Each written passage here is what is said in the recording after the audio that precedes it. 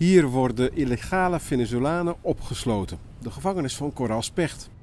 Niet lang, want dagelijks stuurt Curaçao ze terug. Voor Carlos, en dat is niet zijn echte naam, is het nog niet zover. Hij houdt zich schuil. En Venezuela mi vida sí corre peligro, porque en mi vida yo fui funcionario policial, ya pienso diferente al gobierno, no apoyo al gobierno de Nicolás Maduro.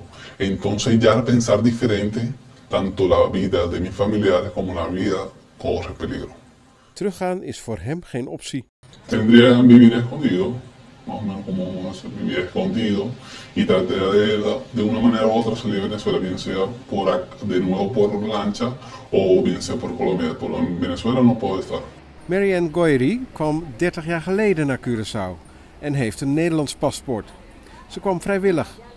Volgens haar zijn Curaçao en omringende landen onvoldoende doordrongen van de realiteit in Venezuela. La crisis humanitaria que está pasando Venezuela es la más grande en Latinoamérica, en toda la historia de Latinoamérica. La gente se está muriendo de hambre, la gente se está muriendo por falta de medicinas, por la criminalidad que ha crecido enormemente, porque no, un sueldo de un mes te alcanza para comer una comida al día. Vraag is dan ook of Curaçao met het huidige uitzetbeleid niet de ogen sluit voor de trieste realiteit in buurland Venezuela. Eh, We volgen het op de voet. Eh, en ik moet zeggen, als mens, als vader, als broer, eh, heb ik ook mijn twijfels, laten we zeggen, eh, dat wij, eh, en hoe lang nog, wij mensen kunnen blijven verwijderen. Maar op dit moment blijft het beleid dus een ontmoedigen voor migranten. Curaçao heeft geen zicht op de stroom illegale Venezolanen.